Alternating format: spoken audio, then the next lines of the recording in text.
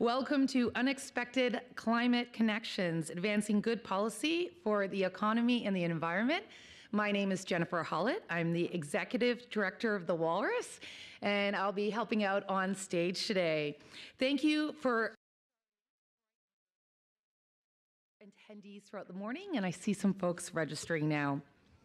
We're thrilled to be here in person in downtown Toronto in this beautiful open space at TELUS Harbour and streaming live across the country on the Walrus's YouTube channel. So hello to everyone who's tuning in online. A big thank you to the Max Bell School of Public, Public Policy for bringing us all together today and to TELUS and friends for welcoming us here to the building and space and for being just such fabulous hosts. Our hashtag for today is hashtag climate connections. We encourage you to use it to share insights from today's conversations on social, whether that's LinkedIn, X, Instagram, and feel free to tag the speakers that you see on stage as well as the partners in Together's event. Also to Wi-Fi, no surprise, uh, TELUS has you set up. So you can just log on. Uh, the name of the Wi-Fi channel is hashtag TELUS, and then you'll receive a sign-in prompt. I'd like to begin by thinking about climate and the environment and nature by acknowledging the land. We're gathered within the bounds of Treaty 13, signed with Mississauga's the Credit. This land is also the traditional territory of the Anishinaabeg, the Haudenosaunee, and the Wendat peoples. Today, Toronto is home to many diverse First Nations, Inuit, and Métis peoples, and we're really honored to carry on a long tradition and history of storytelling. We encourage you to take a moment to reflect on the land that you're on, whether you're joining us here in downtown Toronto or online across the country and beyond. So I can tell you a little bit more about the Walrus. The Walrus started really as an optimistic project over two decades ago to foster Canada's conversation. And we recognize that these conversations are complex important, and oh so necessary. So for us, they take place in many forms at the Walrus, online at thewalrus.ca.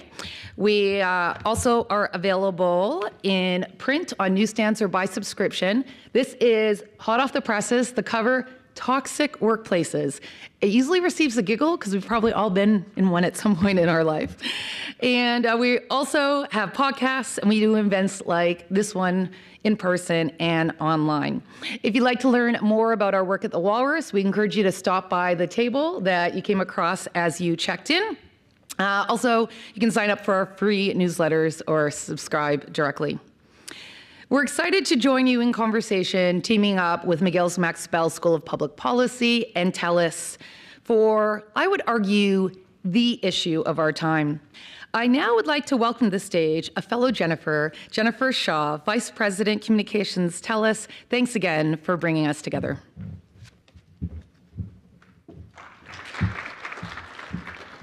Thank you, Jennifer. Uh, Jennifer, game knows game. uh, good morning, everyone. Uh, first off, thank you for giving me the opportunity to welcome you here to TELUS Harbour uh, as we kick off this very important conversation today. At TELUS, our goal is to lead all corporate sectors, not just the telecom sector, in sustainability and our response to the climate crisis we have a threefold world leading strategy that includes minimizing our carbon emissions and waste, investing in technologies to help Canadians live more sustainably, and becoming nature positive. TELUS is committed to using 100% renewable energy by 2025 and becoming a zero waste, carbon neutral company by 2030. Currently, almost 100% of our electricity comes from renewable resources like wind, solar, and hydro. And we're on track to not only be net carbon neutral, but to also be nature positive as we work to restore natural ecosystems and boost biodiversity. We believe that this is not only good for the planet, it's good for business as well. I'm proud to share that TELUS is the leading social capitalism company in the world. Yes, that's right, the world. We invest and embed environmental considerations into every single facet of our operations. Caring for the environment is part of our DNA, and every year we give where we live. In last year alone, Team TELUS, Team TELUS volunteered over 1.5 million hours globally to build stronger, healthier, and more sustainable communities. We also doubled our commitment to the TELUS Indigenous Communities Fund with a reconciliation strategy that follows the guiding pillars of connectivity, enabling social outcomes, cultural responsiveness and relationships, and economic reconciliation. We continue to push for innovation and creativity through responding to the needs of Indigenous communities. In April 2023, we also celebrated the planting of our 1 millionth tree. And with our TELUS Pollinator Fund for Good, we support reforestation efforts and bring nature based solutions to help impact the effects of climate change. Forest fire season, unfortunately, are starting earlier and earlier, while becoming increasingly intense and damaging. That's why we've partnered with Flash Forest, an innovative Canadian company that is rapidly scaling post wildfire reforestation solutions, leveraging exciting drone based technology. It's also why we partnered with Dryad, a German startup that provides ultra early wildfire detection through large scale networks and sensors that detect smoke while a fire is still smoldering. Our investment will help Dryad further expand and scale into the US and in, into Canada. The urgency of our environmental challenges mean we are actively investing in energy efficient and revolutionary technologies, optimizing our processes and aligning our fi- financial decisions with environmental goals. As part of that transition to energy efficient technology, last year we celebrated a decade of TELUS Pure Fiber program, which oversees the transitioning from copper to pure fiber, a material that is 85% more energy efficient. We've also reduced more than 7,400 tons of greenhouse gas emissions while making our, more, our network more resilient to extreme weather events. Broadband internet infrastructure plays a vital role in combating climate change. At TELUS, we've been paying close attention to the research about just how interlinked connectivity and sustainability are. And the more we learn, the more evident it's, it's become that Canada needs a climate strategy that includes a strong digital policy. That's because broadband, internet, and digital technologies can enable a 20% reduction in Canada's greenhouse gas emissions. It's a massive gap that is equivalent to 40 to 60% of our 2023 Paris climate targets. But digital policy is not mentioned in the climate action plans of any G7 country, including Canada. This missing link presents an incredible opportunity for Canada to leverage digital solutions and be a global leader in our quest to mitigate climate change. Even though the research continues to mount and confirm that Canada needs digital policies to achieve our carbon reduction targets, telecommunications, and the connectivity we enable to power emissions reductions activities like remote work, smart manufacturing, and farming is completely absent from our national climate strategy today. It's why the conversation you're about to have is so pivotal to the future of our country and the global climate reality. Techn- technology provides a critical solution to help address climate change and reduce emissions, but we need the policy to support it as well. Because it's been said over and over and over again, we are simply running out of time. And so, to not waste any more time and enabling you to get back and start this very important conversation, I'll turn it over to Jennifer, and I hope you have a great day.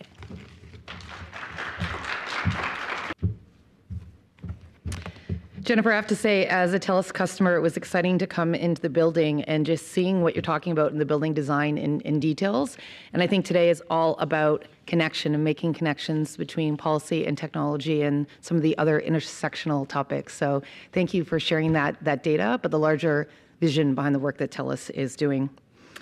I now would like to introduce the great mind behind Unexpected Climate Connections. Christopher Ragan is the founding director of McGill University's Max Bell School of Public Policy and was the chair of Canada's Eco Fiscal Commission. Please, a warm round of applause to welcome Chris to the stage.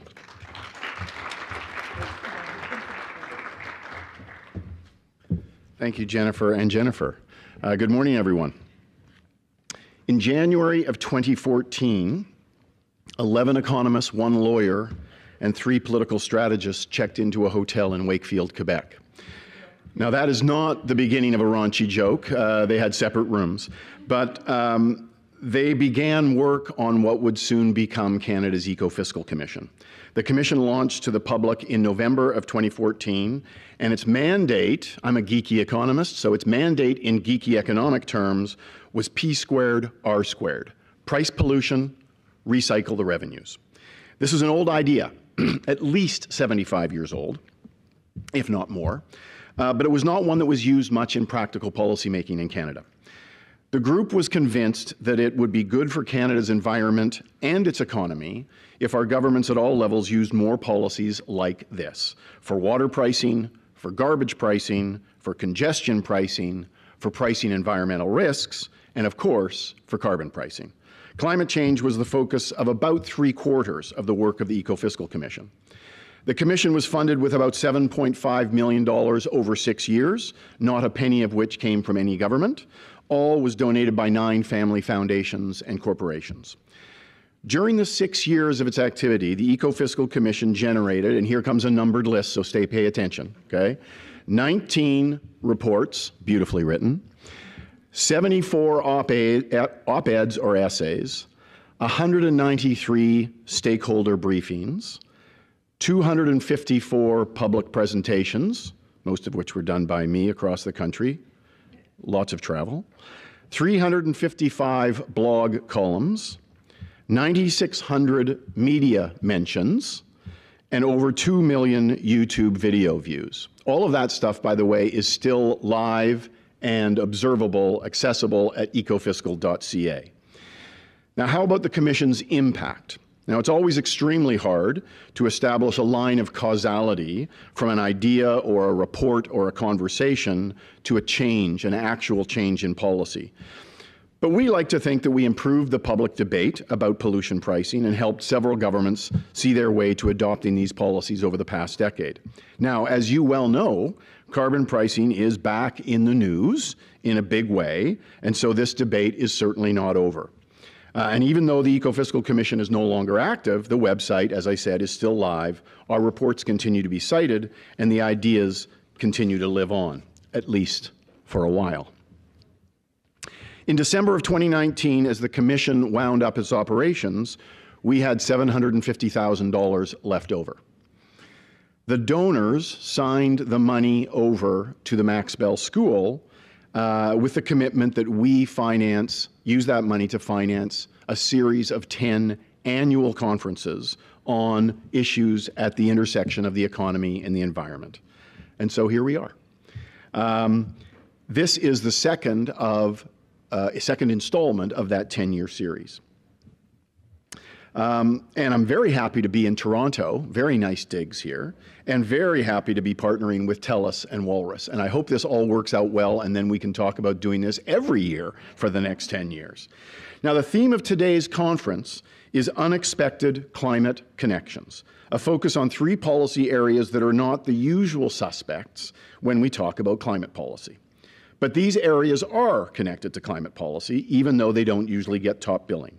So the three topic areas we have for you today are, number one, digital connectivity as climate policy. Number two, indigenous economic development as climate policy. And number three, housing affordability as climate policy. For each of these topics, we've assembled a great collection of people to discuss the issues. Hopefully there will be a little bit of disagreement, lots of time for Q&A from the audience.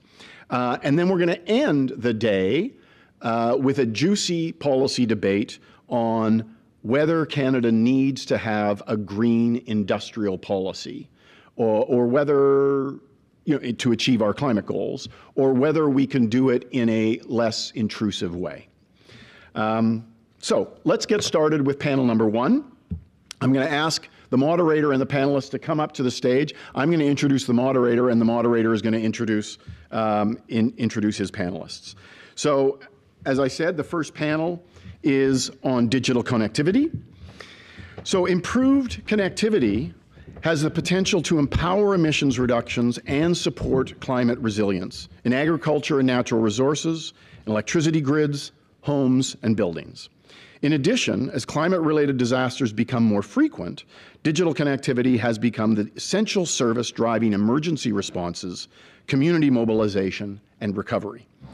Do our current climate policies produce the right economic and market based incentives to generate these connectivity improvements, or do we need additional policies to get there? Those are the kinds of issues that are going to be talked about for the next uh, hour or so.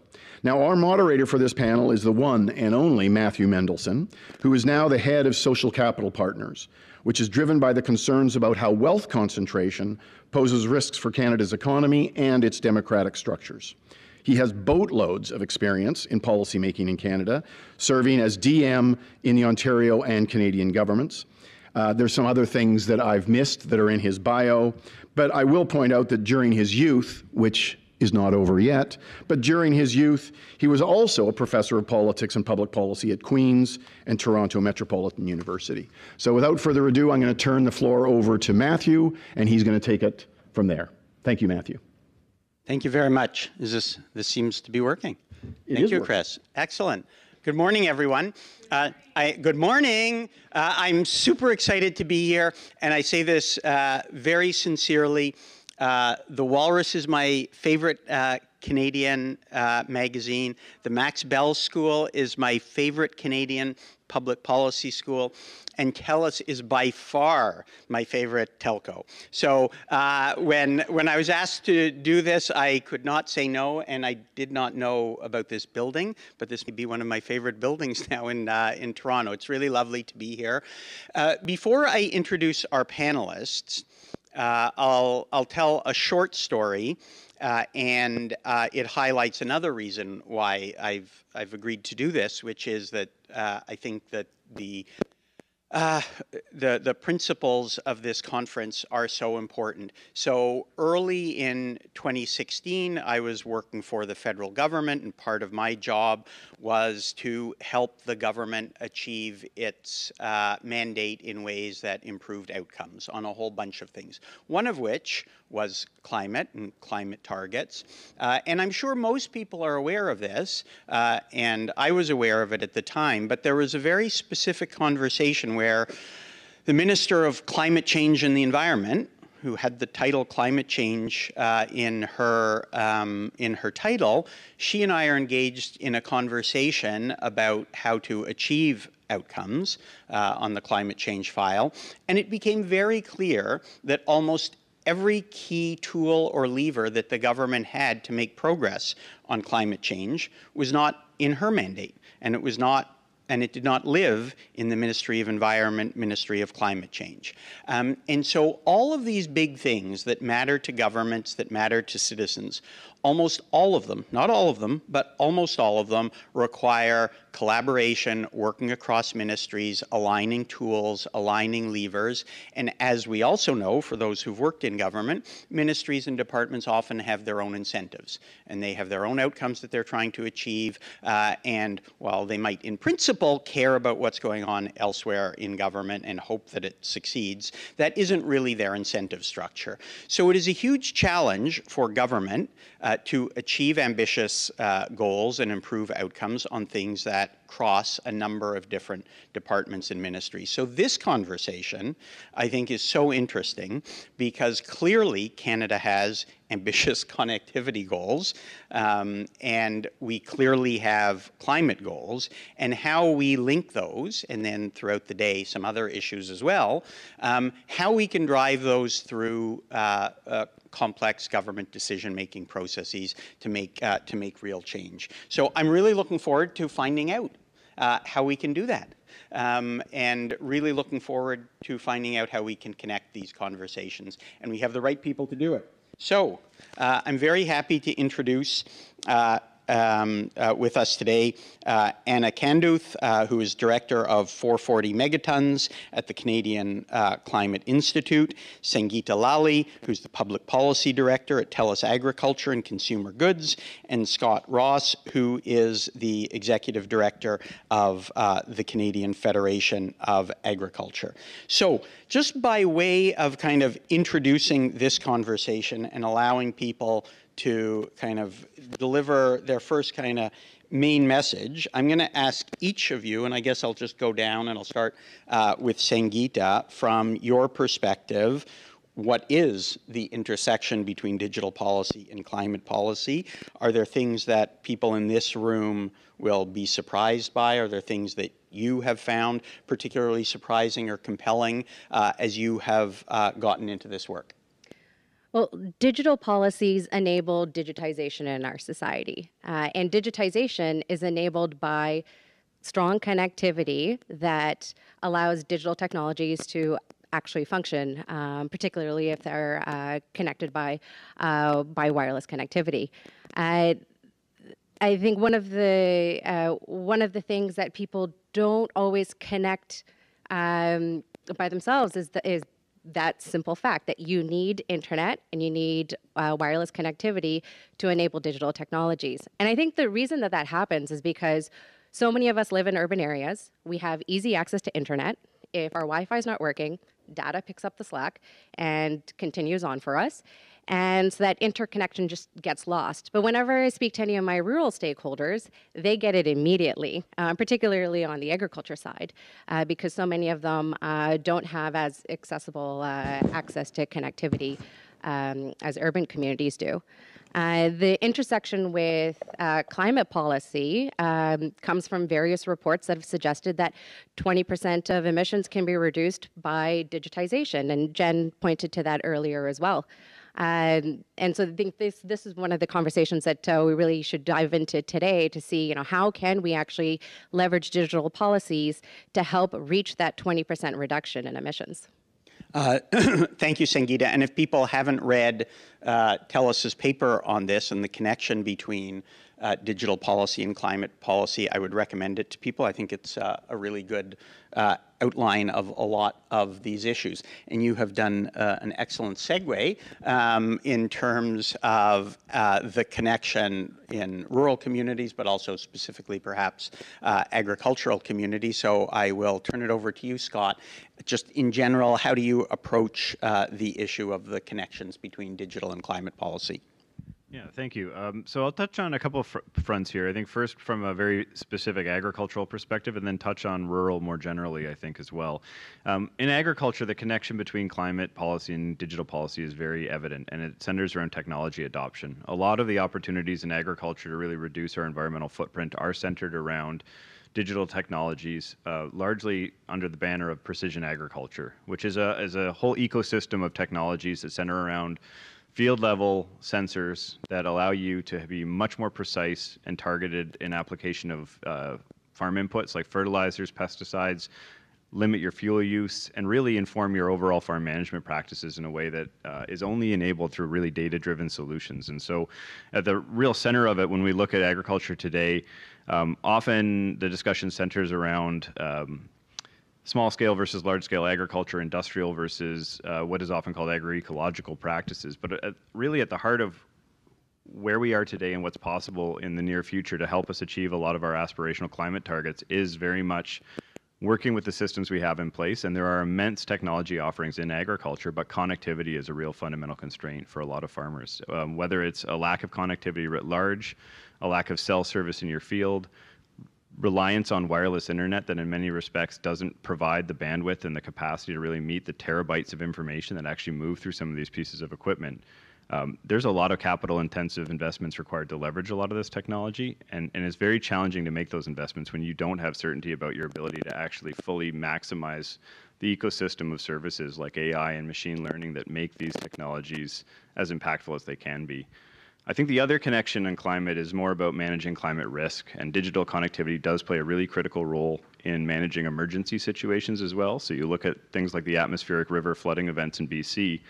There's a real-time issue of movement uh, logistics around moving animals, keeping animal welfare considerations front and center, making sure we're minimizing and mitigating damage to our food systems, and that has to happen in a very urgent, real-time uh, capacity when people are stressed, farmers are stressed, there's a lot going on, a lot of moving parts, and so there's a really fundamental importance of having digital connectivity to help manage the coordination and logistics involved in that. Uh, the last one, and I think the most surprising or that's not often considered, is the link between uh, digital connectivity's role in quality of life in rural communities and what that means for climate. One of the biggest issues agriculture faces, and we're not unique in this, especially in the current labor market, is uh, major chronic labor constraints. We've had labor shortages for decades. They're forecasted to increase for decades to come. And the reality of that is farmers leave a lot on the table. And when we talk about what's being left on the table, it's opportunities to add value. And when we look at where markets are turning and the need for sustainably produced food products, a lot of that value add centers around climate practices. And so when there's shortages in people, uh, human ca- capital, the end result of that is farmers do what they have, have to do to get food produced, uh, and they leave some of those opportunities on the table. So I think uh, digital connectivity plays such a fundamental role in talent attraction and retention in rural communities where access to Netflix for a family is critical, but it also touches on social infrastructure like access to healthcare services, um, really innovative solutions in childcare provision and the like. All of this centers around having access to reliable digital connectivity and, and has implications for climate at the at the back end of it as well. So it really touches on our sector in, in every possible facet. Uh, thank you so much, uh, Scott. Uh, over the last couple of years, I've learned uh, quite a bit more about precision agriculture and how uh, digital technology and is being used uh, in agriculture and the importance in rural communities generally. And I just wanted to uh, say that, you know, from a personal perspective, I think the public conversation about what's going on uh, with precision agriculture and digital technology in, in farms uh, is not uh, attracting the attention that it should. It's great to listen to you speak about these issues. Um, I'm sure people here are all smarter and better informed than I am, so uh, maybe most people here knew all of that, but a couple of years ago I would not have known a lot of the things that you've just been talking about, and there may be some people here as well. So I just think it's it's un, it's unfortunate that those kinds of issues uh, do not get mainstream attention in media and elsewhere in Canada, and that many um, uh, many people are not aware of what the the enormous transformation that's going on digitally enabled uh, uh in agricultural communities. Um, uh, so, uh, um, Anna, over to you for the same question. Sure, thanks. Um, I think this word is going to come up a lot today, but I'm going to agree with Sangeeta to say that digital policy and digital solutions are really important enablers of climate action. Uh, I think they can inform climate action by giving governments really high quality information about climate impacts, but also emissions. Uh, they can also help deliver on climate objectives, both with respect to resilience and mitigation, and I'm sure we'll get into that uh, in great detail today. Uh, and they can also help track progress on climate progress. Um, but in my view, I think there's a pretty clear hierarchy here, and we can disagree about this perhaps, um, where I think digital policy and digital solutions uh, are a complement to climate policy, but they're not a substitute. So in my view, climate policy reigns supreme here. Uh, and perhaps something surprising, not for the panelists maybe, but uh, surprising to me is that uh, digital solutions are already having a really important um, impact across all sectors of the Canadian economy when it comes to resilience, when it comes to mitigation in transportation, in buildings, in agriculture, uh, in industry, and electricity. So these aren't solutions that are on the horizon. Uh, they're here today, they're growing, and I think that growth presents a lot of really interesting opportunities, uh, but it also presents some interesting challenges, which we'll get into. Uh, thank you very much. And I think that's, you know, a key element of this discussion. Uh, you know, my introduction um, talked a little bit about the interconnection between some issues and how different departments have different mandates and all have their own goals, the, their results that they're trying to achieve. Uh, and uh, as people here would know, if you're trying to achieve everything, uh, if you have 18 goals uh, in a policy area, if you have, you know, we're going to do infrastructure investments, but we're going to drive them through 12 or 15 different lenses around inclusion or climate or accessibility, it makes it very difficult to make decisions. Uh, and I think it's useful that you clearly have put on the table, because I think we probably want some disagreement amongst this panel, uh, that the climate goal should be uh, primary uh, that uh, other elements should be supportive uh, and enabling, uh, but the primary objective has to be the climate, uh, the climate objective, and we'll see uh, how that that conversation unfolds. Um, so, Sangeeta, let me ask you, um, you know, in your experience, and you've worked in I mean, you work at TELUS Agriculture, so you have some agriculture back, background, digital connectivity, and obviously climate uh, is important here. Uh, do you find that these conversations are integrated, the connectivity conversation and the climate uh, conversation? No, I, I, don't, I don't think that they are. Uh, we have a, a few key proof points on this. Uh, in and not a single G7 country, including in Canada, uh, are digital policies included uh, as a solution for climate policies. You know, within Canada itself, um, we've seen uh, government departments across the board come up with targets on emissions that they want to reduce, but never really having the discussion of how they're actually going to achieve those targets. Uh, agriculture is a great example. A few years ago, the Agriculture Canada announced that they wanted a target to reduce uh, fertilizer emissions by 30%.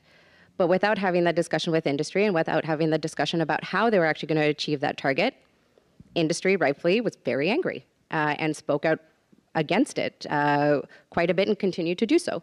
Um, I think the discussion of how is very important when setting setting up climate targets so that we can determine how we're actually going to achieve that target. Uh, and what what do you think are some of the obstacles to uh, integrating those conversations? I think one is just the recognition that uh, digitization and digital technologies play such a significant role in reducing emissions and really understanding how that works. Um, so when it comes to connectivity, uh, I, I don't think that ISED or CRT, CRTC fully understands the, the impacts and the implications of their policy and decision making on how infrastructure gets built out in the country. And if infrastructure isn't being built out quickly in the country, people in rural communities aren't getting connected as, as quickly and they're not able to fully leverage digital technologies to reduce their emissions.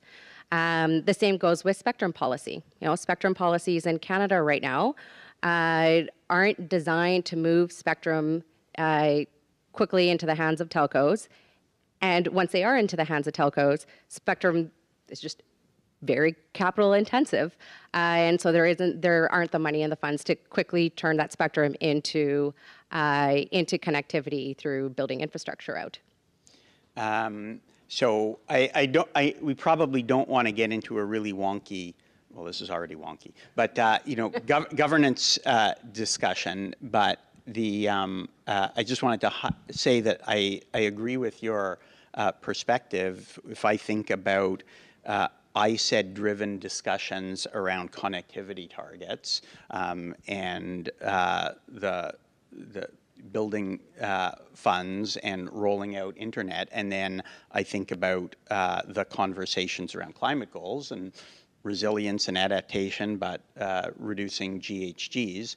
Uh, those conversations largely take place uh, with different incentive structures amongst different people in different rooms uh, with with quite different goals, and it's really hard to integrate. And and it's and it's not just ISED. You know, I don't think uh, officials at Environment Canada fully recognize the impact that uh, connectivity would end up having on reducing emissions. So I think all of the discussions in government are just they're so siloed by department that if we were able to get departments to integrate their discussions uh, a little bit more closely, that we might be able to see a faster progression on digital policy as a part of climate policy. I mean, I think it's uh, striking that you say that in the G7 countries, none, none in their climate plans have digital uh, solutions or talk about uh, connectivity, because I think for most people it's intuitive.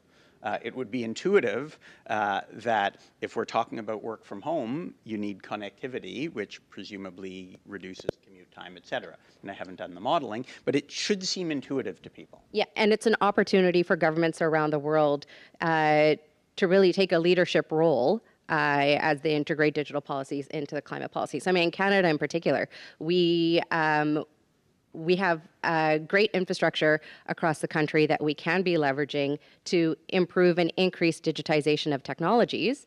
Um, but there are these gaps that we need to fill. And so if we can start having these discussions on how we leverage digital policy as a part of climate policy, we can start taking the actions that we need to take to improve access to digital technologies uh, so that we can further reduce our emissions and try to hit that 20% reduction uh, that reports have suggested that we can do as a country.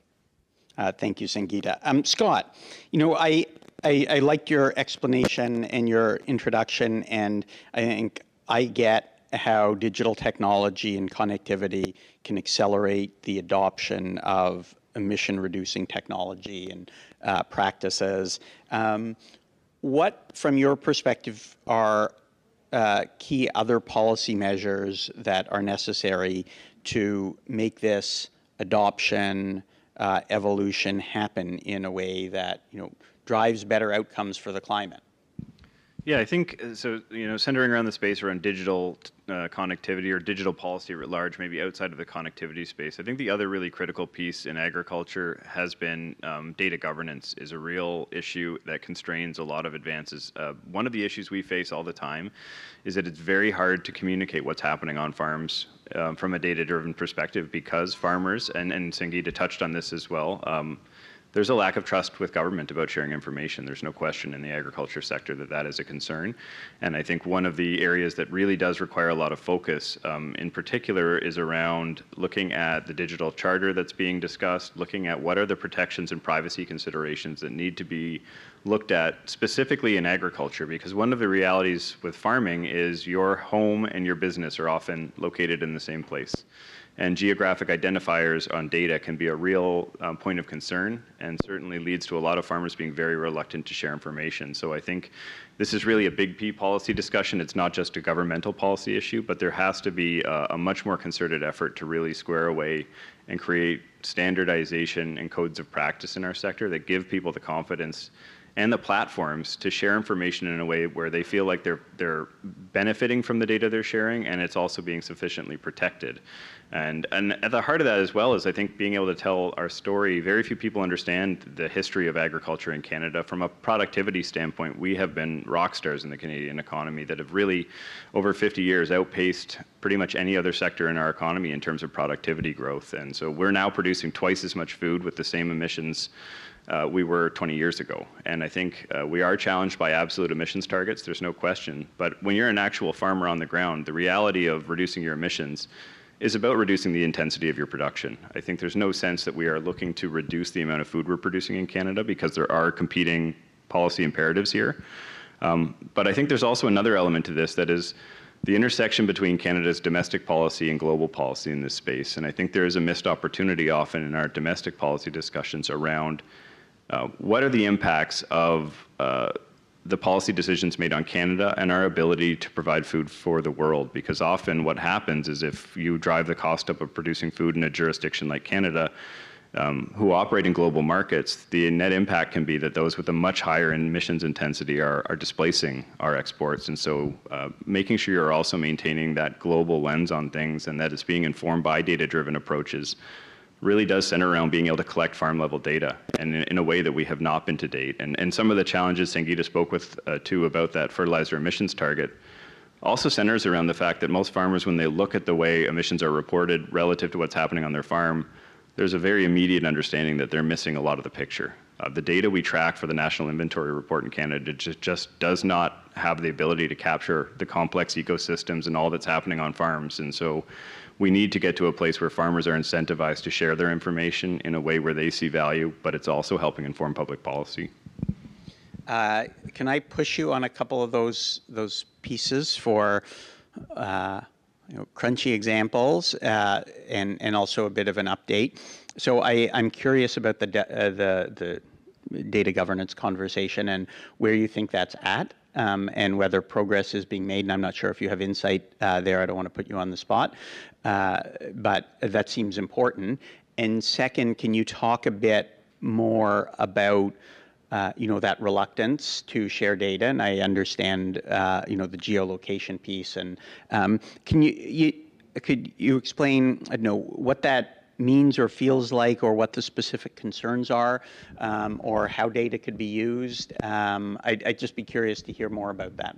Yeah, so on, on the first point, I think there is a lot of good work going on at ISED and other departments looking into digital privacy and protection. I, I will say, I think, and this is not unique to that department, but there's a sense from our sector that we're not really being actively engaged in the conversation early enough. I think that's a, a sort of a trope you'll hear a lot from agriculture in general is that there's a sense that we are very well engaged with the Agriculture and Agri-Food Canada, that department in government, but there's a growing sense that as, as these policies advance, as, as the policy directives are being given to other departments that we have to have a much more fulsome early conversation to make sure that farm considerations are being given due attention. So while I think there's a lot of good work underway looking at how we can standardize, I mean, I sit on a number of different groups with the Canadian Standards Association looking at agri-food data, trying to develop standards, looking at what's needed in that space, but ultimately um, from a more sort of whole of government departmental standpoint, um, there is a sense that uh, I don't think the, the, unique realities around farming are really being considered as a standalone economic sector. We're being treated much like other businesses, and I do think there's a concern that there will be uh, gaps in the sort of level of protection. I know when you look at the EU, for example,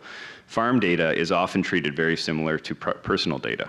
They have similar standards of protection, and I think there is a, a real need in Canada to look at models that don't constrain the supply chain getting the information they need, but at the same time, really do take a slightly different tact with uh, Canadian farms where it's 200,000 small family farm businesses across our country, and they have very unique uh, concerns in that space. I think with respect to the other question, um, there's a few elements at play. I think one is that farmers are, are understandably um, concerned that a lot of what is currently framed as targets with voluntary incentive-based approaches um, could if progress is not sufficient in our sector to come near the targets that have been set, that it will be reverting to more mandatory regulated approaches.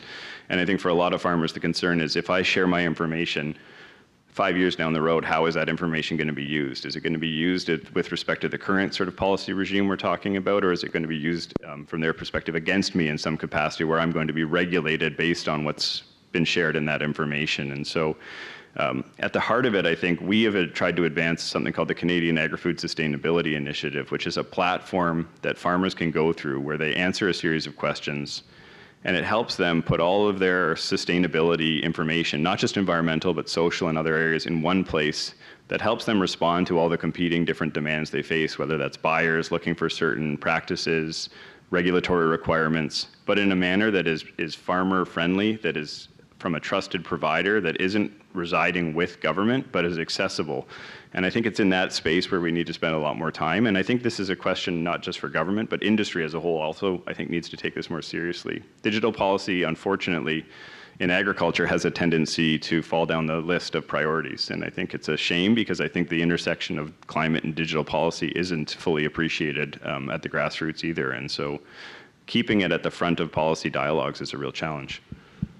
Uh, I'm going to follow up on that in, in one sec. I, I, did just want to encourage people who are interested in having a positive impact on uh, their country and on their public policy environment to get involved in standards work. Uh, it isn't always the most uh, exciting uh, work, but uh, it is the hidden DNA that drives positive or sometimes negative uh, outcomes. So uh, I'm, I'm very glad you're on those committees.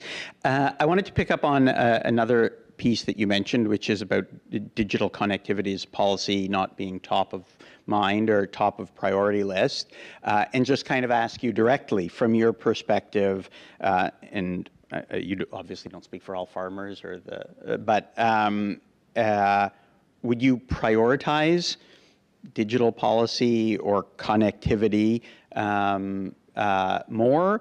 Um, how does that rank compared to, you know, pro-competition measures or broad-based uh, royal, rural deployment targets? Um, uh, where where would you situate this in in uh, the policy agenda? Well, I think the, it's a very timely conversation because I think the reaction to the targets that have been set for a sector, whether it's on nitrous oxide, on methane emissions, whatever that might be, um, the conversation in agriculture has shifted. And, and, to be honest, you know, five years ago, if we were talking about climate change policy at our, our annual meeting, the questions would center around why we're doing this. And now it's very much focused on the how. And I think that is bringing this digital connectivity piece to the fore in a sense that it wasn't there before because um, you know, to your question about the hierarchy of different priority policy priorities, um, I don't think we view climate and digital policies as competing. It's this is a, as was said before, an enabler. This is the how of how we actually get to the targets that are being set in climate policy. And I think the frustration that Sangeeta referenced earlier stems from the fact that um, there's a growing sense that we don't know enough about what's happening on the at the farm level to really make informed decisions in this space, and that there's a commitment and a, a, an ongoing, I think, understanding in agriculture that the pressing priorities we face today, which are must, you know, as with many businesses, farmers are business owners first, and they treat sustainability decisions in that manner. Is about looking at their margins, looking at how they're going to remain profitable, how they're going to remain productive. Um, but the two come together very closely in agriculture because fuel, farm inputs, those are major expense lines for farmers. So there's a really tight intersection there that I think has to be front and center. I will say in the space around connectivity itself, I think spectrum policy, which Sangeeta spoke to earlier, is really vital. And I think the issue at the heart of it, and to not get too wonky in all of this, is that um, we need to be looking at connectivity in a much more granular scale. Often the way connectivity is mapped is there's one urban center in the, in the center of an area, a rural hinterland around that, and if that urban center is sufficiently connected, connected, from ISED standpoint, that region has connectivity.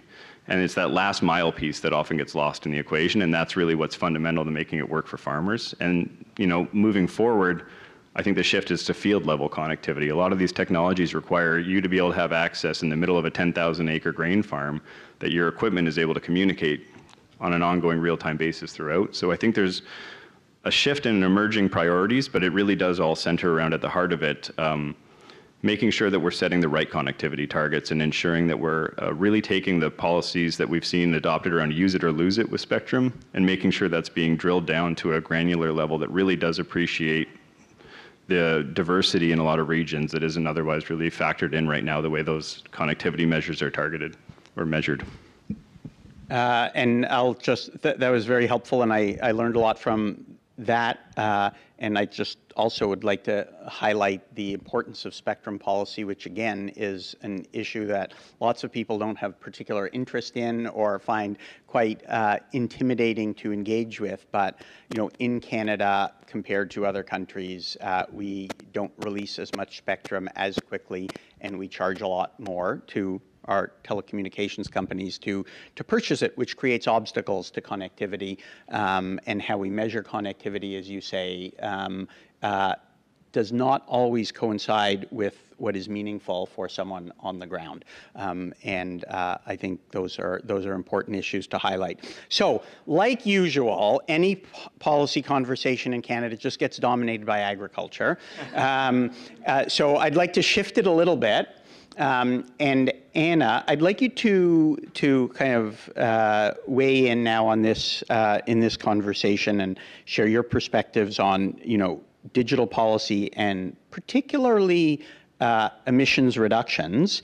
Um, but I know you have lots of ex experience with the electricity sector, um, so I, I, would just be interested in your uh, your observations on uh, how digital policy can be used to reduce emissions in electricity or in other sectors?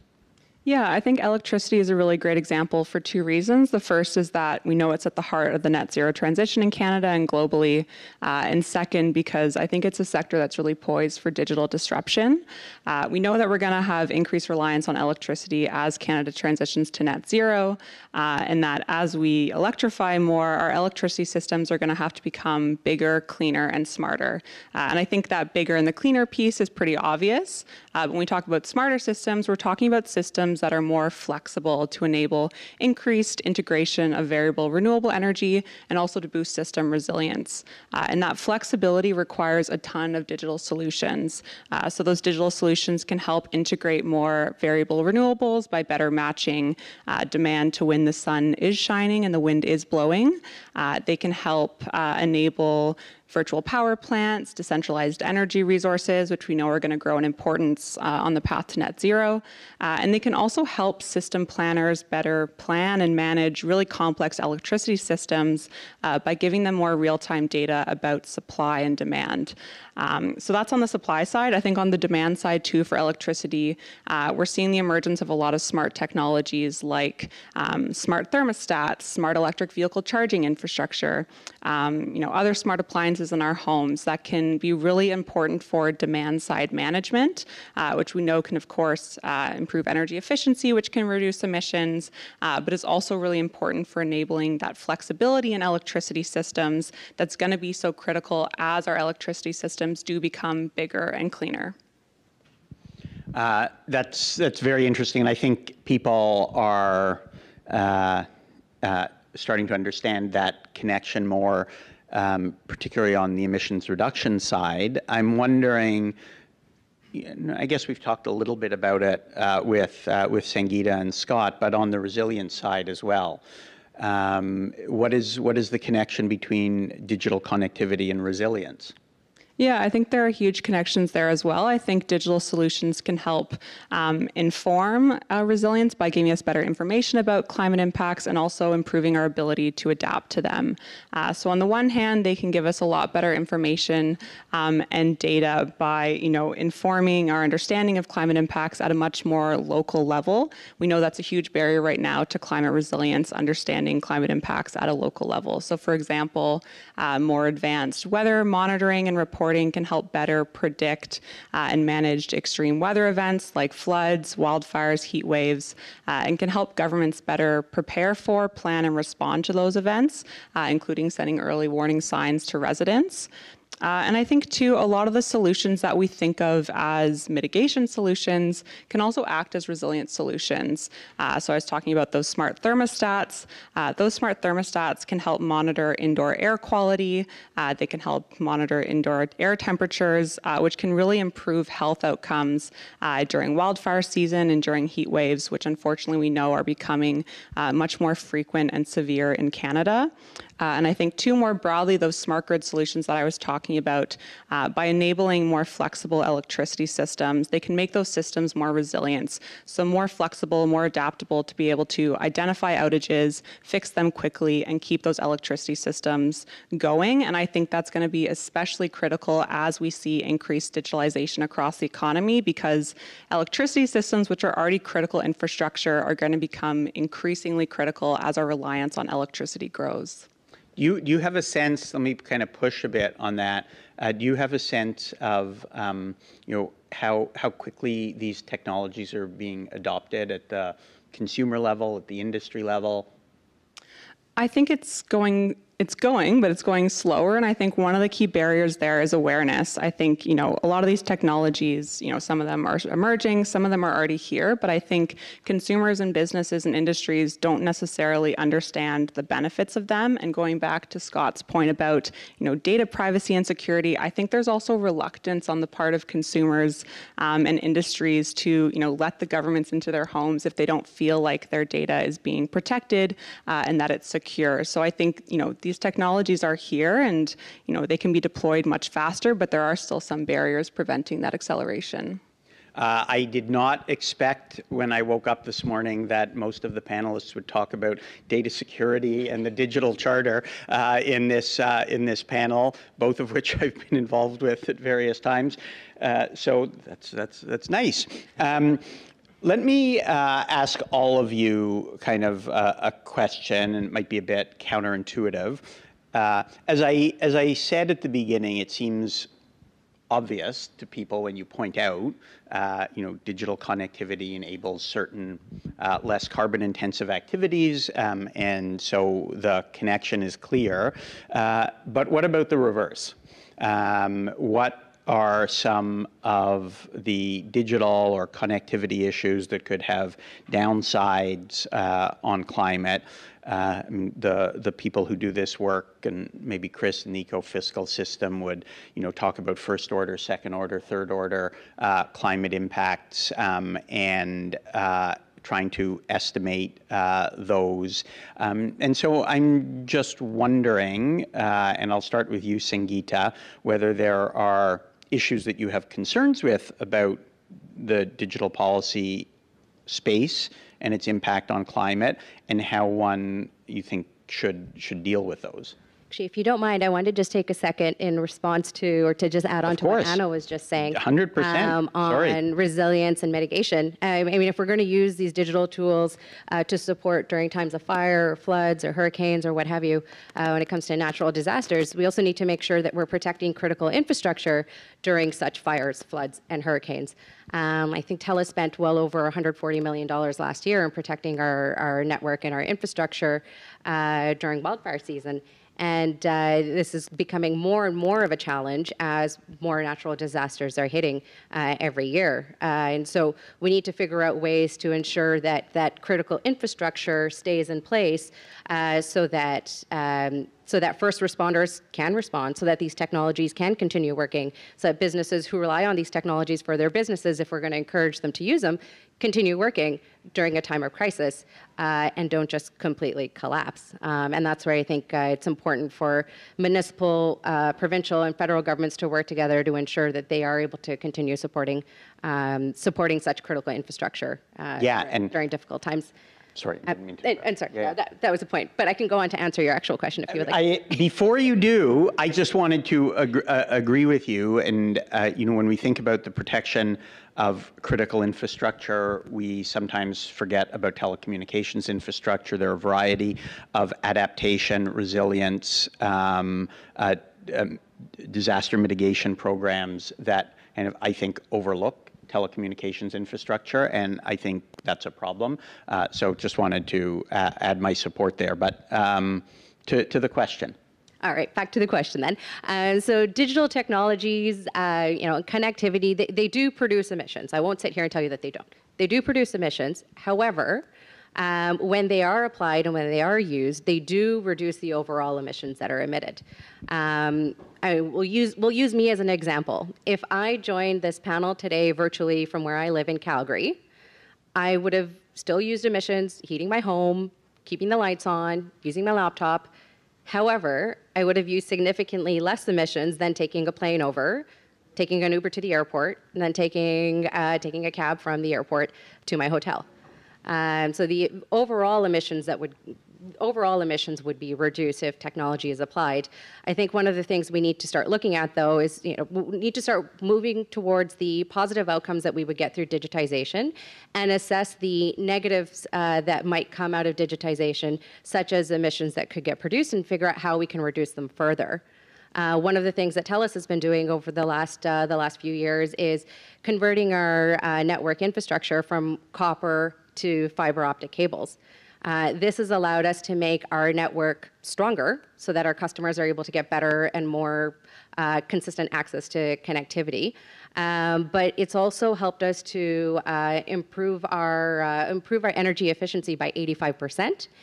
And it's allowing us to transition our uh, massive central offices that are used to store this copper infrastructure uh, to turn them from these energy uh, intensive buildings to energy efficient homes uh, for people to live in. Uh, so there are ways that we can you know, transition over to, um, to continue reducing emissions uh, rather than doing the things, uh, doing things the way we used to do them.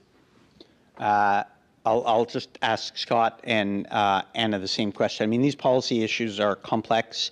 Uh, all of us are aware. Sometimes you try and deal with a, one particular problem and design solutions. It produces problems elsewhere and unintended consequences. So this seems all very complex.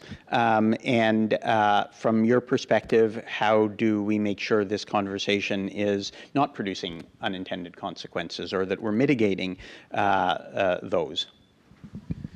I think from an agricultural perspective, one of the critical pieces is making sure that we're taking very uh, outcome-based approaches in these policy areas. One of the realities in agriculture is we are an immensely diverse sector, not just in terms of what people are producing, but there's regional variations, there's scale dynamics. You have everything from a one-acre market garden to somebody who is farming 30,000 acres of grain in Western Canada. And the solutions digitally available to them are not going to be one and the same. And so I think one of the risks we always run in, whether it's in connectivity policy or anything else, is just not applying a one size fits all lens to things and being too prescriptive. And this casts over to climate policy in areas like carbon offset protocols and the like is making sure that we're creating tools that are flexible enough to accommodate the diversity of our sector.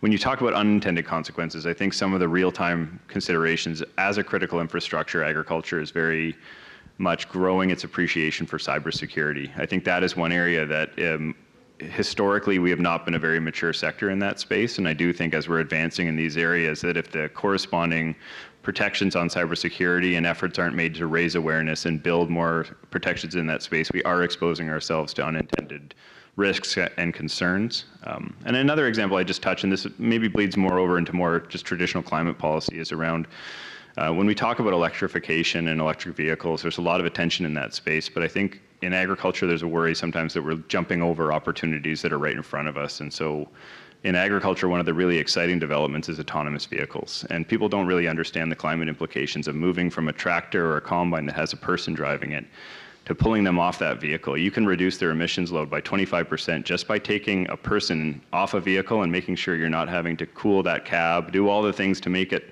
hospitable for a person to sit on what is a massive piece of equipment generating a lot of heat.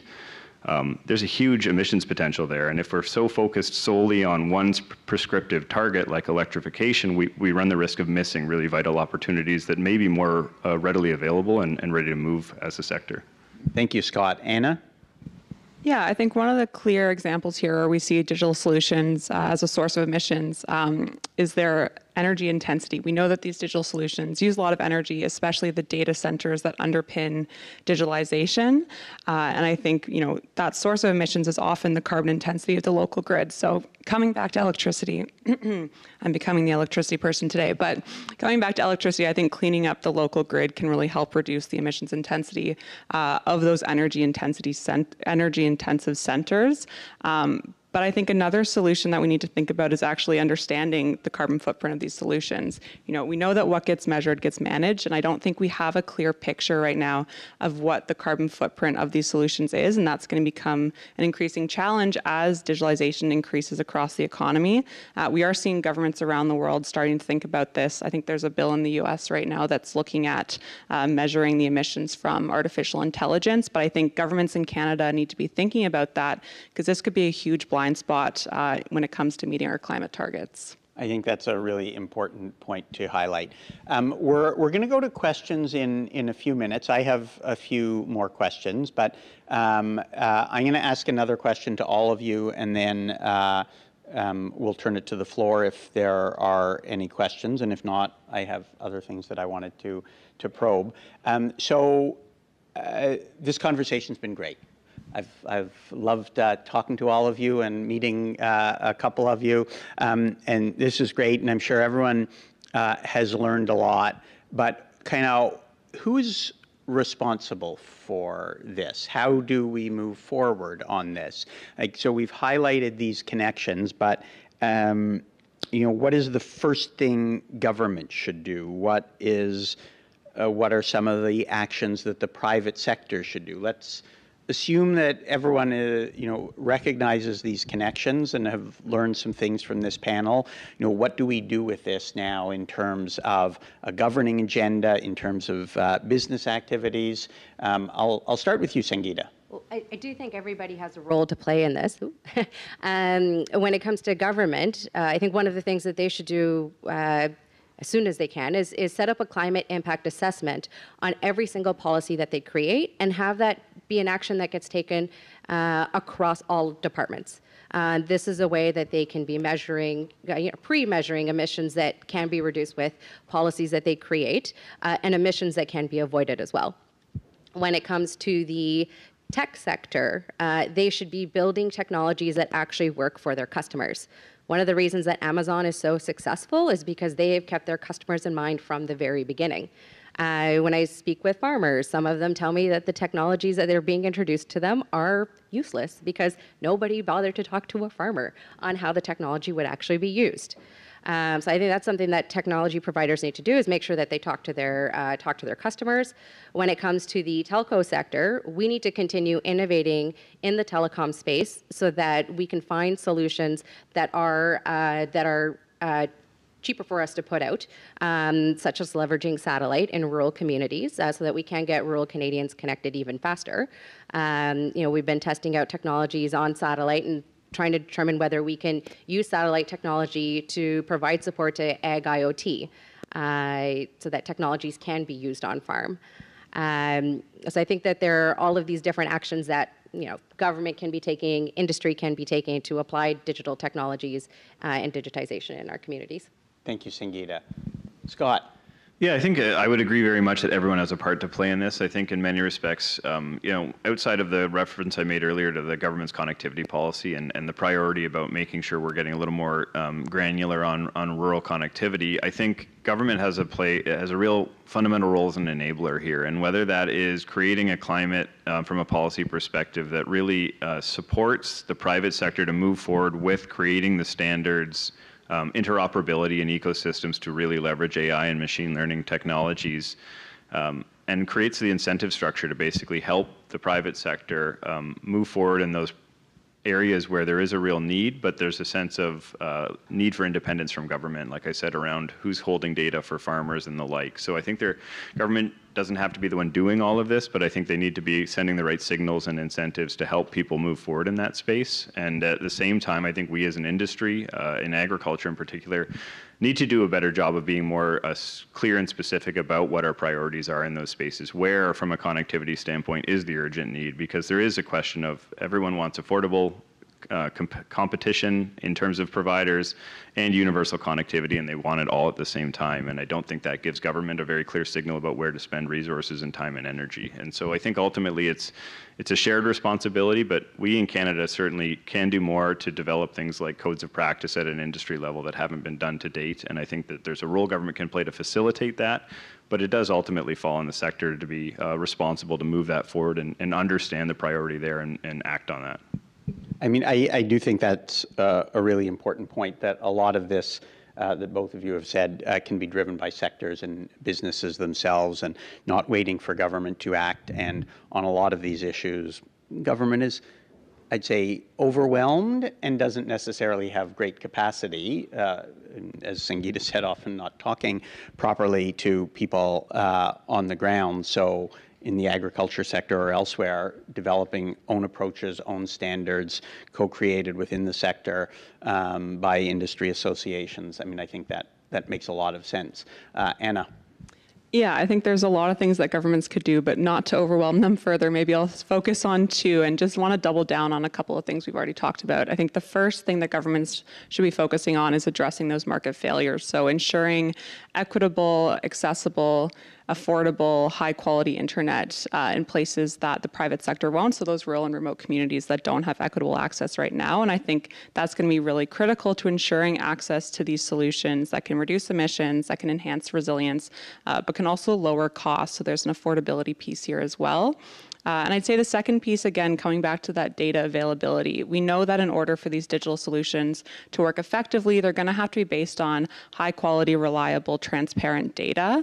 Uh, so I think governments have a role to play in enabling that access to data, uh, in bringing in standards for that data, uh, and also, again, coming back to privacy and security. I think until we have that trust between governments and end users that their data is secure and that it's private and protected, uh, I think there's still going to be reluctance to adopt these technologies in a really big way.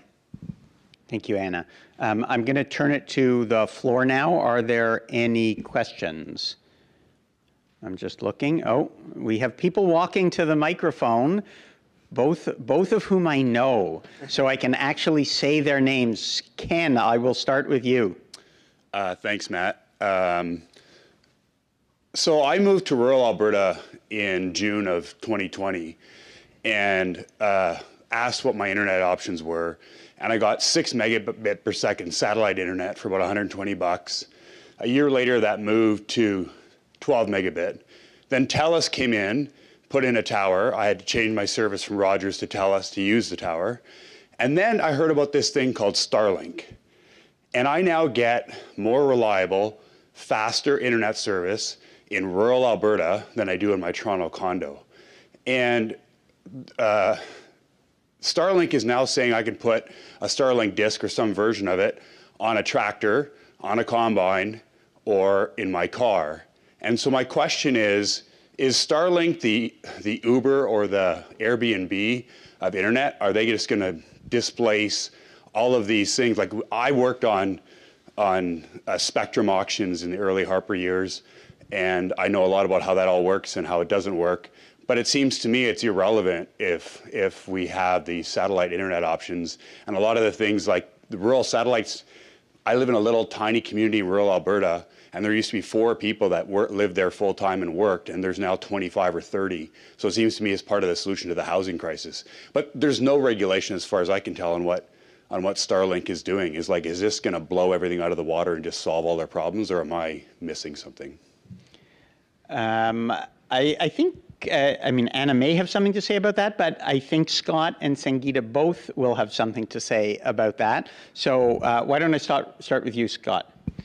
Yeah, I think so. We've certainly watched the development of Starlink very closely and have been monitoring sort of the development that's happened there. I mean, as it stands today, there are pockets of the country that still don't have access to that kind of technology, but that's not to say that that won't be coming in due time. I think there's more and more satellites going up all the time.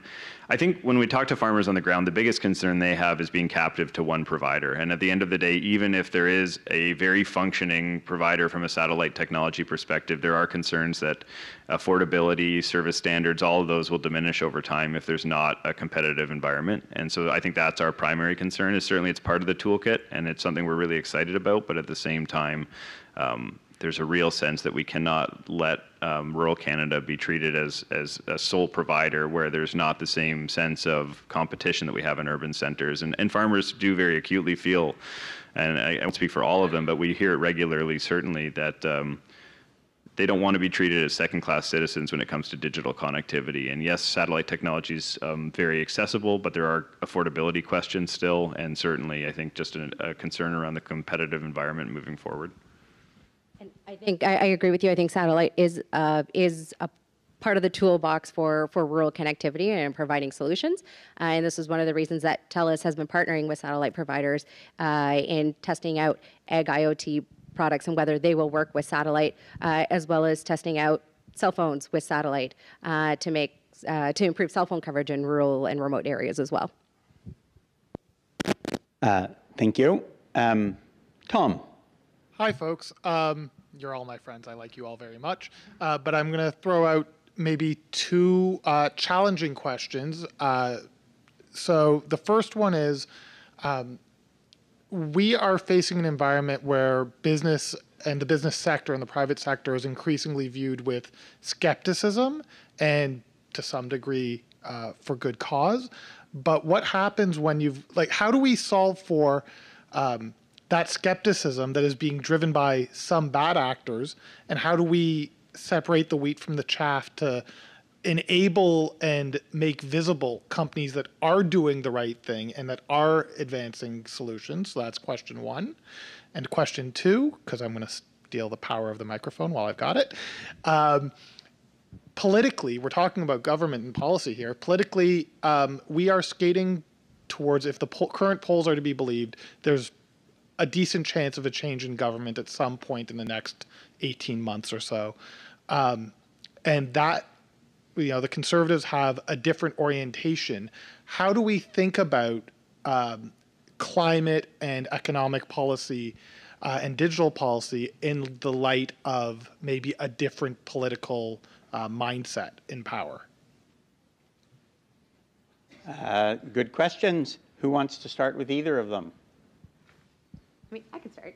Um, Excellent. Thank you, Sangeeta. Uh, when it comes to climate policy, I think even the conservatives are going to have to have a strategy, and well aware they are working on one too.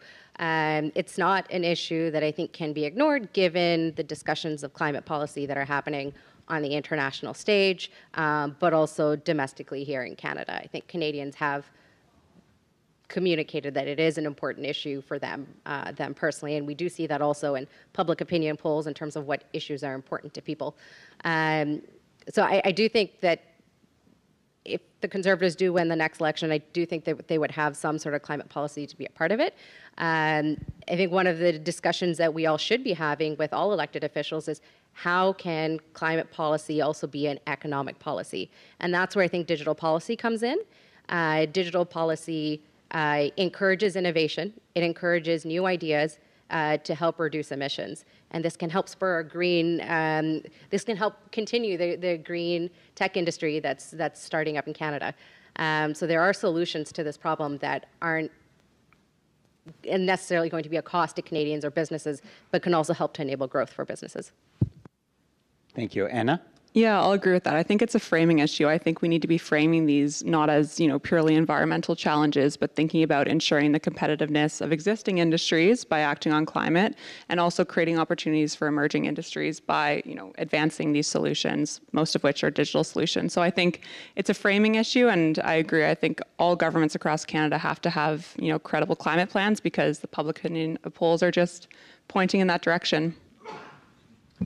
Yeah, and I would, I mean, I agree very much with the point about framing. I think, um, so I, I'm the co-chair of an advisory committee to develop something called the Sustainable Agriculture Strategy, which is a 25-year vision for what agriculture, a sustainable agriculture sector looks like to 2050. And I think the intention behind that is to try to build um, a policy platform that better links the economic and environmental considerations involved in adopting best management practices and the like in a way that will help survive political cycles. I mean, obviously, that's a bit of an idyllic, uh, idyllic uh, expectation.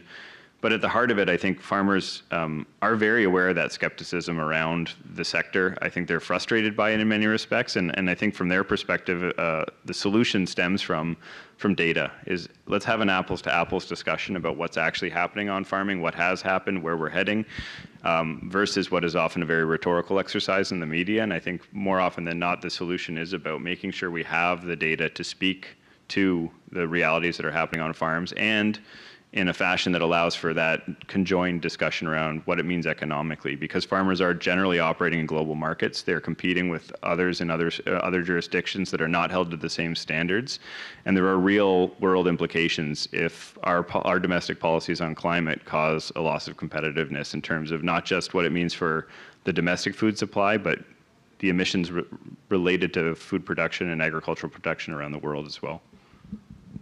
Uh, thank you.